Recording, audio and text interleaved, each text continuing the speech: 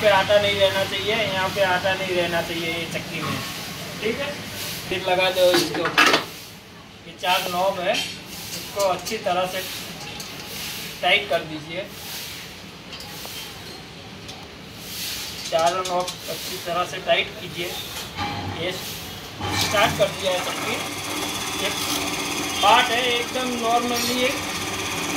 Touch कीजिए बस। और कुछ नहीं करना है इसको। थोड़ा सा नॉर्मल बस। फिर ये लगा दीजिए।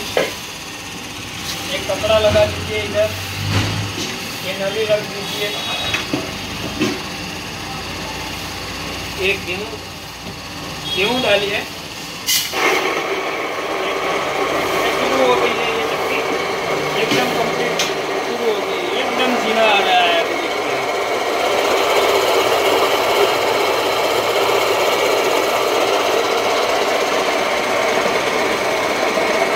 ये नया चक्की है। थोड़ी देर चलती है, फिर थोड़ा सा पीछे हटाना पड़ता है इसको। जब तक नया है। तब